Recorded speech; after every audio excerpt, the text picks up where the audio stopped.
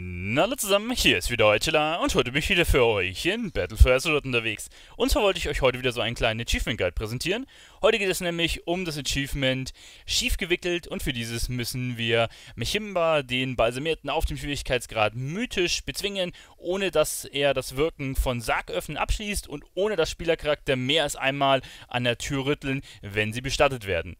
Ja, eigentlich relativ simpel. Ihr müsst den Boss möglichst schnell runterbrennen, dass ihr das möglichst nur einmal bis keinmal spielen müsst, also sprich diese Sargphase. Das hilft auf jeden Fall. Deswegen haben wir unseren Heiler hier einfach auf Eule gehen lassen und ähm, hatten aber dennoch eine Sargphase. Wichtig für euch ist, dass ihr am besten diese Särge alle einmal markiert mit Marks. Dann sieht nämlich der Spieler, der äh, in den Sarg kommt, ein bisschen besser, welches Marke ist, kann das ansagen.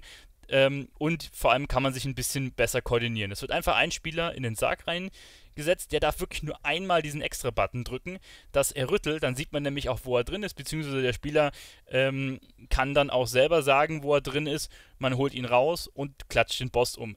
Wenn, der, wenn es zu lang dauert, den Spieler rauszuholen, dann öffnet der Boss den Sarg und man kriegt das Achievement nicht. Und wenn man zu oft rüttelt oder halt mehr als einmal rüttelt, dann ja, ist das Achievement auch verkackt. Ne, eigentlich eine einfache Sache. Wenn ihr extrem viel Schaden habt, könnt ihr quasi auch durch DPSen, ohne dass ihr dementsprechend ähm, ohne dass ihr dementsprechend irgendwas mit den Särgen machen müsst und kriegt so euer Erfolg ist dann einfach die Sache vom Equip, denke ich mal, mit der Zeit. Gut, das war's soweit mit dem Achievement Guide. Ich hoffe, ich konnte dem einen oder anderen ein bisschen weiterhelfen. Sollte das der Fall sein, äh, dann würde es mich freuen, wenn ihr mir einen Daumen nach oben gibt und wenn ihr mehr von solchen Videos sehen wollt, könnt ihr mich gerne abonnieren. Euer Tela, bis zum nächsten Mal. Ciao.